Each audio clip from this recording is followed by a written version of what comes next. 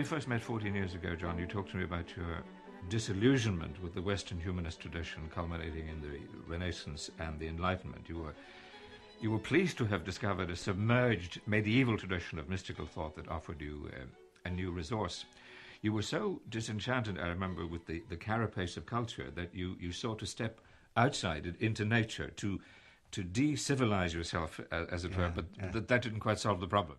I see. I came back from Canada. I, I, mean, I came from the bogs, and I became a glutton for culture. Like I, I ravened through libraries because I was hungry, not because I, I needed, wanted to become an encyclopedia. I was hungry to name myself, to speak myself to myself.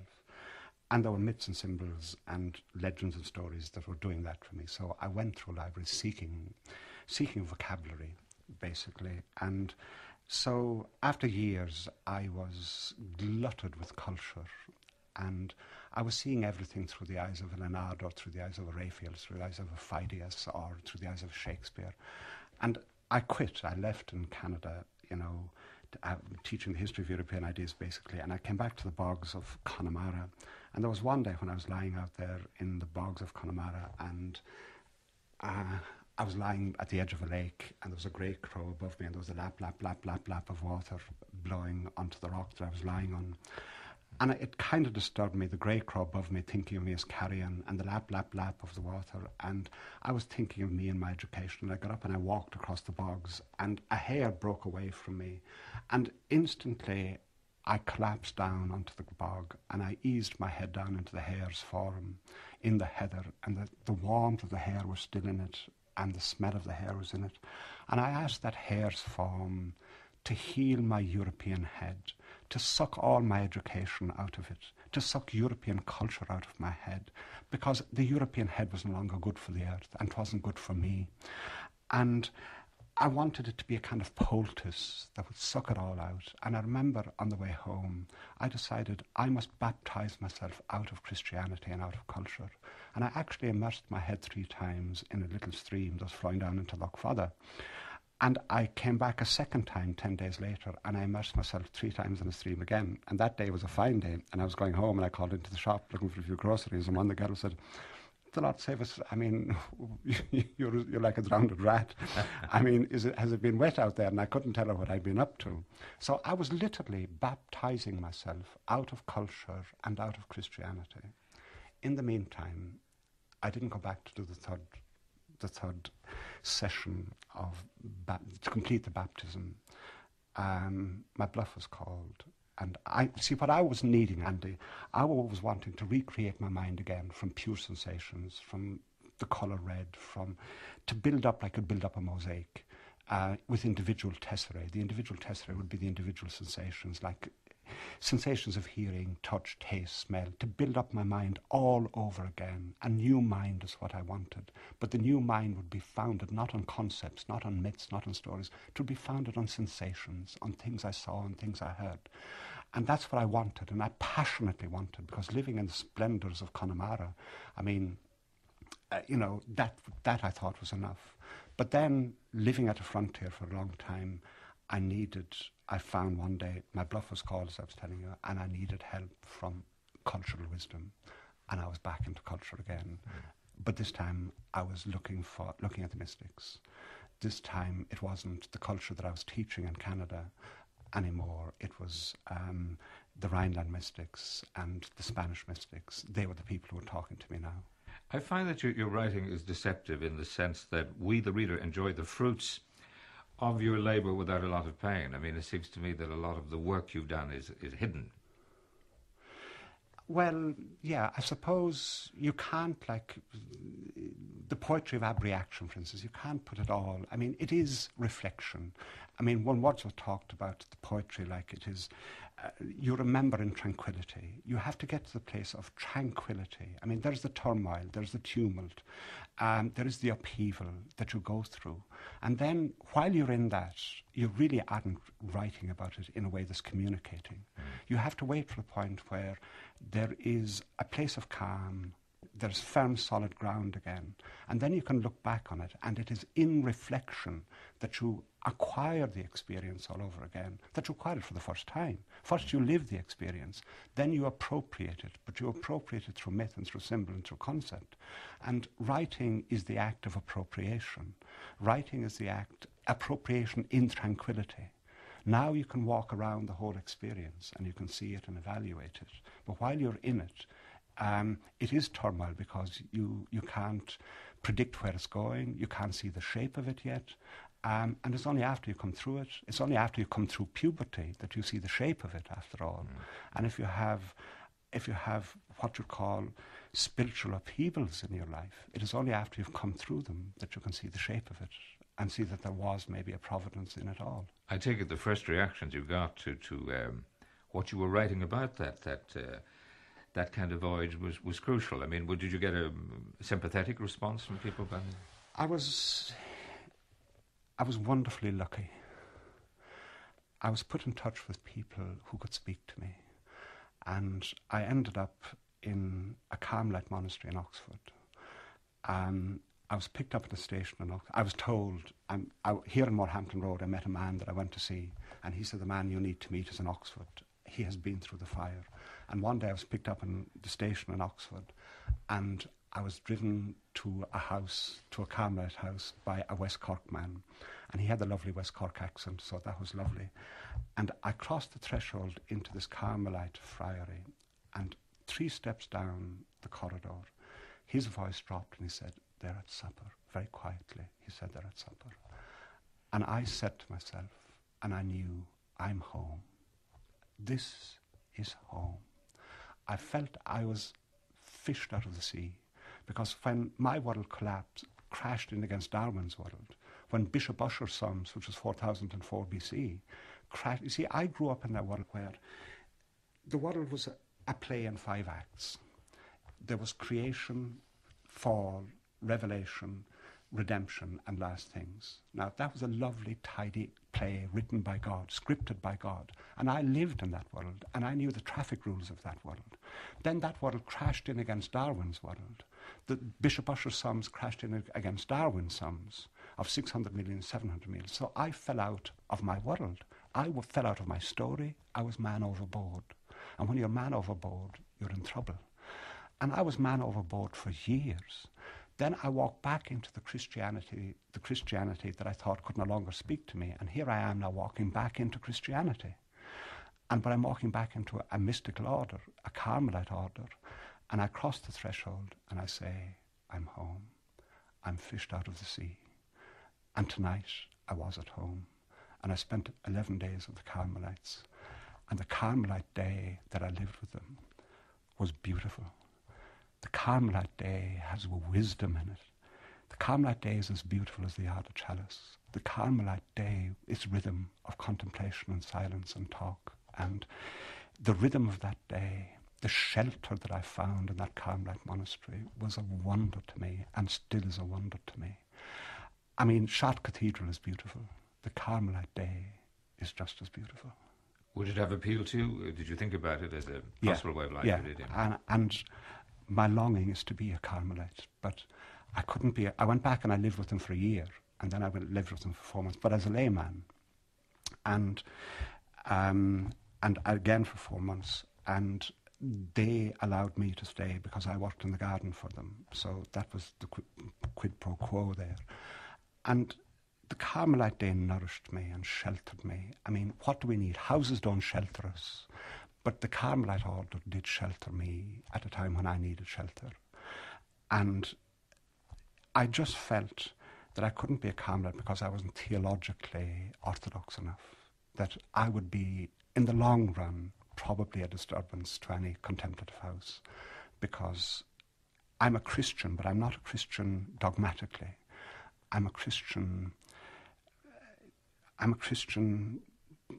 Well, I suppose now I'm, st- I'm a Christian with rosary beads in my pocket, like, yeah. but I wasn't what, then. What do you think of organised religion? I mean, from, from where you're coming now. We need shelter. Our houses don't shelter us. They shelter us from some of the elements, but deep down in our souls and our minds, we have needs. And we are exposed inwardly to dangerous places within ourselves. We are exposed to longings. There are, there are, like Cleopatra, there are eternal and immortal longings in us. And we need a religion to shelter us in our depths, to shelter us in the places where ordinary culture, secular culture can't shelter us. So religion is about shelter, and we need shelter. And I need the shelter of myth. I need the shelter of religion. I need the shelter of a great house. I mean, when Philip Larkin goes to a church, do you remember? He's walking in somewhere in England and he comes upon a church and he takes off his bicycle clips and he parks his bike against the gable end and he walks in and he goes up to the holy end of the church. He gets the musty smell and he reads a bit from the op- from the from the open book uh, that is there in the lectern and his words echo around the house and he thinks, what in God's name are we going to do with these churches? Like, you know, will we rent them out rent free? Will we let them out rent free to sheep and rain, or will we keep one of them and keep it permanently in show? And so he's walking in at the end of a Christian tradition. But then mm. the, there's that last wonderful stanza a serious house on serious earth it is, in whose blent air all our complex compulsions meet, are recognised and robed as destinies, and that much never can be obsolete. For someone will be surprising a hunger in himself to be more serious and gravitating with it towards this ground which he had once was proper to grow wise in, if only so many dead lie round. Now, he's naming it here like it is a serious house on serious earth. I mean, where the central bank is built, that isn't a, the central bank isn't a serious house, and it has made the earth that is sitting on unserious. We will always need a serious house on serious earth because in our depths, however much we cooperate with the silliness of the modern world or with any world, however there is huge, serious life in us. And when life in you is serious, you need a serious house. Was this what lies behind your, your concern to to, um, to plant the, the, the ground plans of a temple? Yeah, because modern humanity, as you know from Eliot's Wasteland, like, is destitute humanity. We are living in a wasteland. I mean, there was once, and they, when I moved house in Connemara, that house you were in, I moved to the mm. next cottage down uh-huh. beside it, and I was in it already for six weeks. And one day I opened a cupboard, and there Joe Mullery's Joe Mullery was the person who had been in the cottage the last, and he had left spuds in a shelf of the cupboard. Now, this was spring, and those spuds had desperately sprouted. They were white and gaunt and shriveled, and they were on a shelf, and they were reaching for the sun. But there was no soil around them, and they were totally cut off from the sun. Now, modern humanity, we are a little bit like those spuds in that cupboard. We are cut off from soil and sun. And so we do need to be inhumed again, a kind of inhumation to get in touch with soil in, in, in, the, in the best sense of that which nourishes us. I don't mean soil in the sense of that which a chemist might analyse, but that deep place within ourselves that nourishes us and that is fairly frightening. We need to come out from the cupboard, to be taken out and put back into the wild earth, to be put back into the rich earth, and to, to, to not be sealed off from sun and soil. So, yeah, I feel that what we need now is a serious house on serious earth. So there was once when I went to the centre of Ireland, I went walkabout to the centre of Ireland with a ground plan of a new sacred building. And I planted it, having gone down into the root of monastic Ireland first. I went to St. Kieran's Cell in Clonmacnoise, that small little cell. So I went into the shell. That is like a little shell that was washed up on a seashore. When you told me this, uh, when you spoke about this to me, not 14 years ago, but maybe 10 years ago, I said to myself, he's, he's, he's, he wants to found a new religion. No, not at all. Not at all. I mean, Christ founded the religion that I'm happy to be a member of. All I would be doing there was crying out that we live in a destitute time, God, um, we can't any longer perceive that um, we are maybe sheltered. We need shelter all over again, but it is within an already established religion that I seek shelter. It is to let Christianity flower in a way, to flower mystically. Um, again and to acknowledge the mystical tradition within Christianity, to bring this, the Rhineland mystics and the Spanish mystics to the heart of the Christian tradition. You see, there is a new gospel there is a new, there's a fifth gospel out there. And the best way, the best way to talk about, about what happened to Jesus is in the mystics. I mean, the, the, the, great passion narratives of the sermons of Eckhart are the works of St. John of the Cross, Teresa of Avila, Julian of Norwich. These are a tremendous heritage. Could we bring that mystical tradition to the heart of Christianity? Because if a religion isn't mystical, it is, I think, you know, it can very easily become a set of formalities, you know. So what I was trying to do there and, what it was and yet, I take your point, of course, and yet presumably the justification for the organised system we know it is to keep the show on the road, to have some kind of framework or shell yeah, there yeah, that yeah, can be filled out by the kind of insights that you're. Yeah, but you're I'm acknowledging yes. the need yes. for a shell. I'm acknowledging the need. I mean, after all, when I walked that night into the Christian, the cross the Christ, Christian threshold into the Carmelite order, I was walking into an order. I was walking into the Carmelite day. I was walking into an organised religion, and I needed the organised religion. We, I, I, I, I won't talk for other people. I need an organised religion. When you evaluate literature, do you read much contemporary work, by the way, uh, at all, either I philosophy or novels or? Uh, yeah, I'm, yeah, I'm, tangentially in touch with it. Yeah. yeah. Well, what are you primarily concerned with when when you look at uh, material today? What are you looking for? Well, I mean, I would look for. I mean, the typical modern novel, like you know, things. Do you remember the famous story that's in Bede?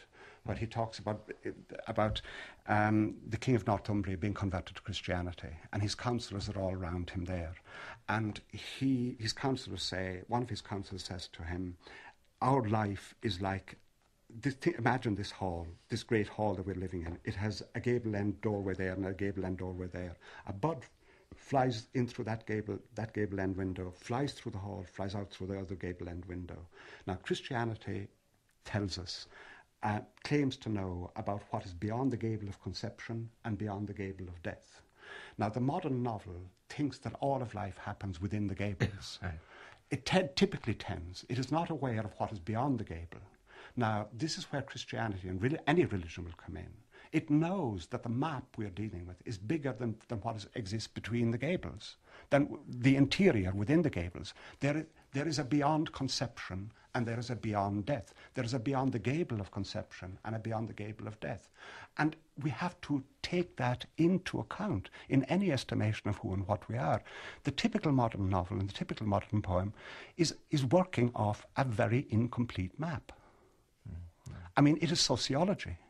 So, I mean, it is what Simone Weil would call swamped in the crowd. It is, it is still lost in, in, in, in, in, a, in a Platonic cave. Exceptions, I suppose, people like Geoffrey Hill and, and... Geoffrey Hill, I mean, his wonderful poem, Genesis, Geoffrey Hill, there are. I mean, Ted Hughes is coming around to it. Ted Hughes is already, is, is already there.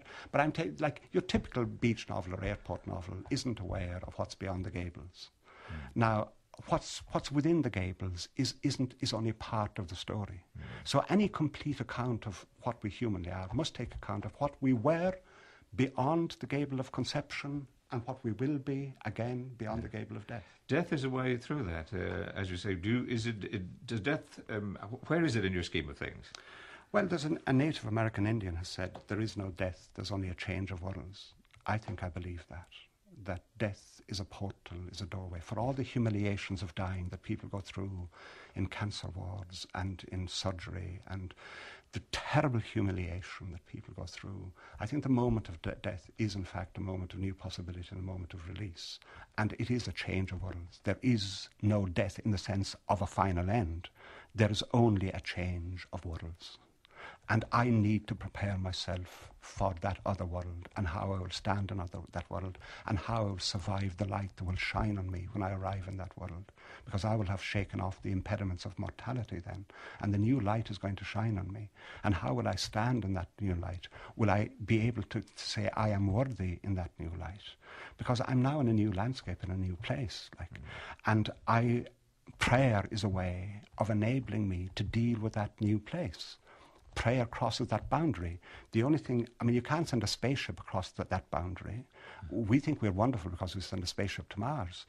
The, the great boundary is the boundary between, between death between life and death. Now, prayer is what crosses that boundary. Your, your Christianity, your understanding of it, as you say, heavily influenced by, by the mystical tradition, is, is very much um, has a religious focus. Morality doesn't appear much in it. I mean, do, do you? Uh, Good God, Andy! I mean, it's everywhere in it. Uh, because, but I believe, what I believe, Andy, is that in some way vision has to pr- precede morality. That the prius is vision. You have a vision of life. You have a vision of the earth. I mean, I say, after all, that the earth is Buddh Gaya and the universe is a mantraverse.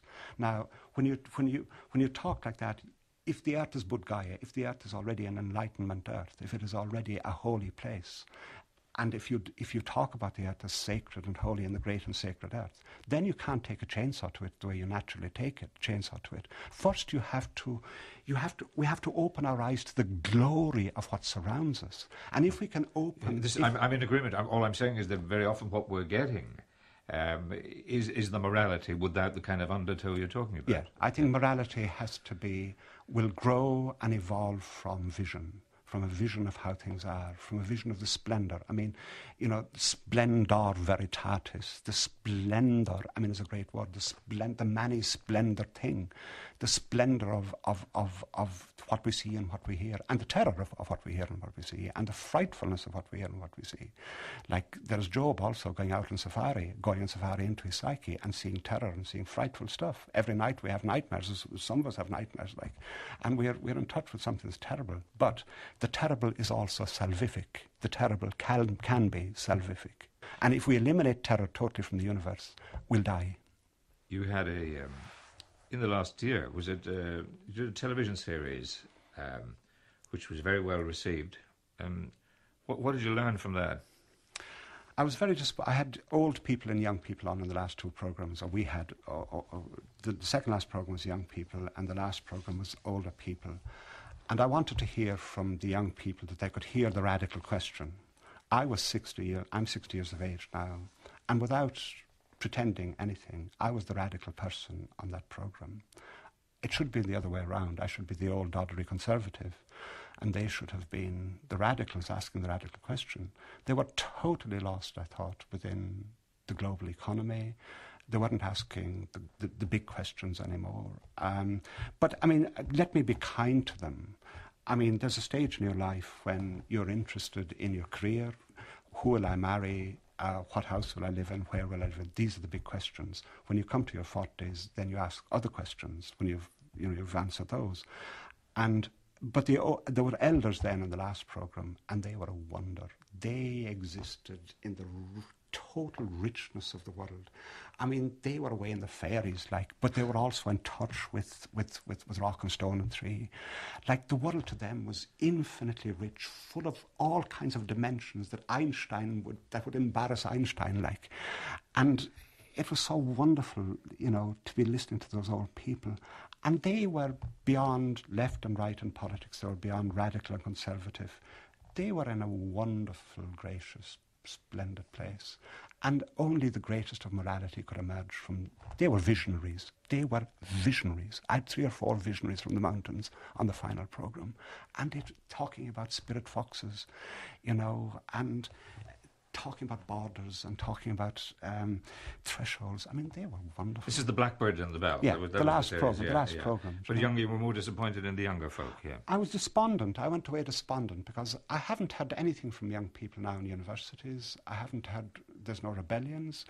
Um, I don't hear them asking any questions about um, about where we're going or where we're coming from. Maybe they are, but I don't hear them. I mean, they are, they, when they take to the streets, they take to the streets about, um, about more money and more grants.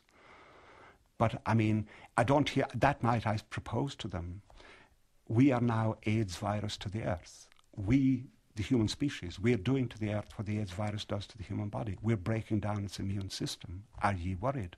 I said that the earth has voyaged for 4,600 million years. It has now crashed into an iceberg in the way that the Titanic crashed into an iceberg. It has crashed into an iceberg. The iceberg the voyaging earth has crashed into is humanity. Now, it might not survive its crash with humanity, this earth. Are ye worried? Like they weren't asking that kind of question and when it was presented to them. But they were wonderful, bright people. And she said, like, I don't want to run down these. They were wonderful, bright people. They hadn't arrived at the stage. Like, if the earth doesn't, they are the generation. If the earth doesn't turn on them, if human history doesn't turn on this next generation, if they end up imitating us, then it's all over. The change has to occur in the next generation. The major turnaround, the major metanoia has to happen in the next generation. The next generation cannot afford yet another generation doing to it what we have done to it. When we last spoke, you were in Galway. You've moved to, to Kerry. Why, why did you move? ran out of options in Connemara. Um, a pub opened beside my house, and then I got a new, a new site, and a quarry opened beside that, and uh, I couldn't compete with barristers from Dublin in relation to buying a site. So I thought I'd look for a house in some iargúlta place, some backward place in Kerry. So I found a place under the foot of Mangerton Mountain, and I went home. Not because I wanted to leave Connemara. I would have happily lived for the rest of my life in Connemara. But I found a place in Kerry. I was going down to give a talk, so I said I'd look for a site, and I got a site in Kerry. So I have a little, I have a house now below, under the mountain, down from the Horses Glen. So I'm still in the mountains, and that's wonderful. Back home to home to Kerry. Yeah. Of course, where, where you were born. In, yeah, in, yeah, in, yeah, yeah, yeah. That was Tar- was it Tarbert or I was, I was born in North Kerry, but Yeah. and I grew up in North Kerry, but now I'm back in um, five miles outside Killarney under Mangerton Mountain, and it is wonderful. I'm down from the Horses Glen, which is a great qu- quarry up, the, up up above me, and there's a comer there, a great a ravine there, and it drains the water of Three Lakes, which is up in the Coombe, and I can hear the roar of that in the night, and. Um, I can see the mist veiling and unveiling Torc Mountain, and some mornings I sit inside in my room, and it's like being present at the first morning of the world because the world is emerging from the wonderful mist, the ceo draíochta that moves upon the mountains, and it's all blessedness. And there are days, Andy, when our geological talk and our psychological talk and our theological talk and our mythological talk, all the talk that we've ever talked, comes home to you and you're silent because you know that words can't name what it is you're seeing. And if we only had the courage of what it is we're seeing and the splendour of what's out there, then we would change. Then we would stand in a new way on the earth. John Moriarty, thank you very much indeed.